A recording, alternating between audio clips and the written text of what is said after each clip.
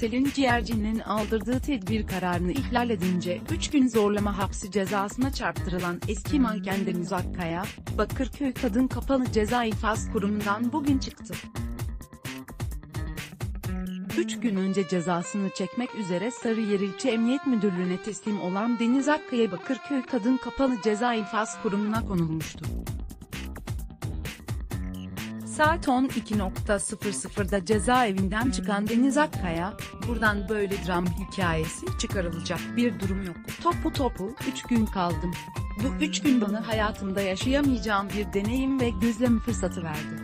Ben 3 gün bol bol kitap okudum.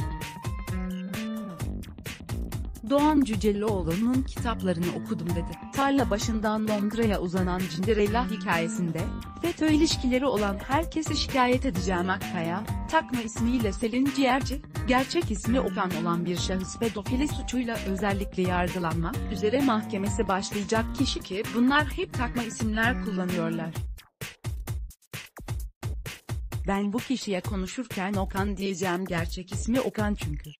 Ben hapisteyken konuşamamam için bir tedbir kararı aldırmaya çalışmışlar. Mahkeme böyle saçma bir olayın mümkün olmadığını söyledikleri için mahkemeler bu konuşmamda hiçbir sakınca görmediklerini söylemişler. Pazartesi itibariyle bu kişinin tarla başından Londra'ya uzanan Cinderella hikayesinde, FETÖ ile ilişkileri olan herkesi şikayet ettikten sonra, naylon fatura işleri de var bunların, hepsini tek tek şikayet edeceğim diye konuştu. Gayet paşalar gibi yattık çıktık diyen Akkaya, dananın kuyruğu kopacak arkadaşlar. Zaten savcılıkta da bu FETÖ ilişkileriyle ilgili biz randevularımızı almıştık. Bunları konuşmamam için zaten tedbir aldırmış şeklinde konuştu. Kanat bağlantısı, T24 Adblock Test.